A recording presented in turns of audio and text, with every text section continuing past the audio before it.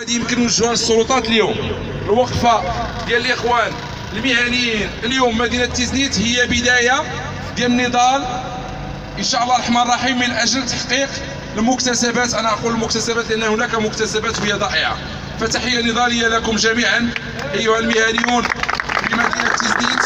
ومن خلال ضم جميع مدن جنوب المملكة ونحن حاضرون معكم من أجل الدعم والمساندة.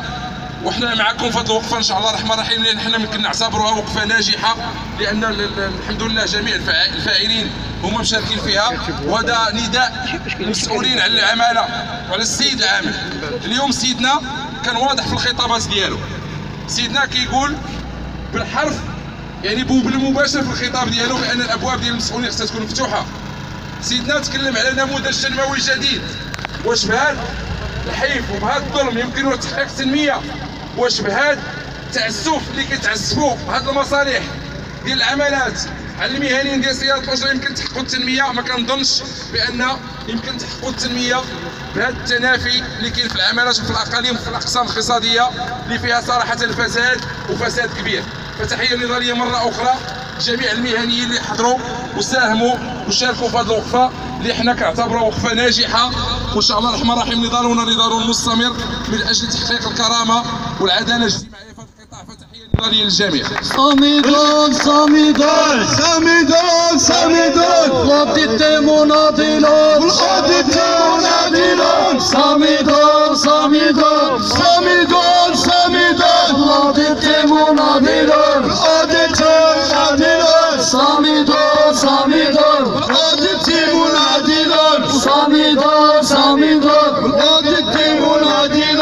منادلون صامدون صامدون والقادة منادلون صامدون صامدون والقادة منادلون صامدون صامدون في الاتحاد منادلون صامدون صامدون الاتحاد منادلون صامدون صامدون الاتحاد منادلون صامدون صامدون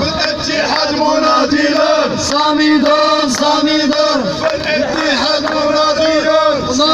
يا مناضل. ناضل. ناضل يا مناضل. ناضل. ناضل يا مناضل. ناضل. ضد الحقراء ناضل. ضد الحقراء ناضل. ضد التسويف ناضل. ضد مطال ناضل. ناضل يا مناضل. ناضل. ناضل يا مناضل. ناضل. ضد الحقراء ناضل. ضد الحقراء ناضل. ضد التسويف ناضل.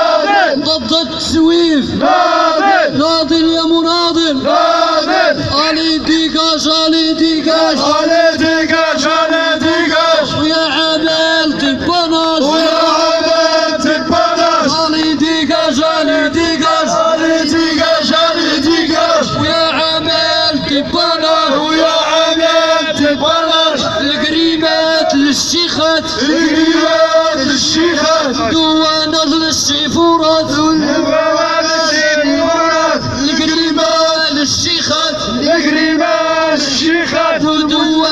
دوانا للشيفورات والوالد الشيفولات علي ديكاش علي ديكاش. Allez dégage, allez dégage ويا عمال تبناش ويا عمال تبلاش هز قدام وحط قدام. وهز قدام وحط قدام. العمالة كتمص قدام والعمالة قد مس الدم. وهز قدام وحط قدام. وهز قدام وحط قدام. العمالة كتمص قدام العمالة karşıtım. Hukuk.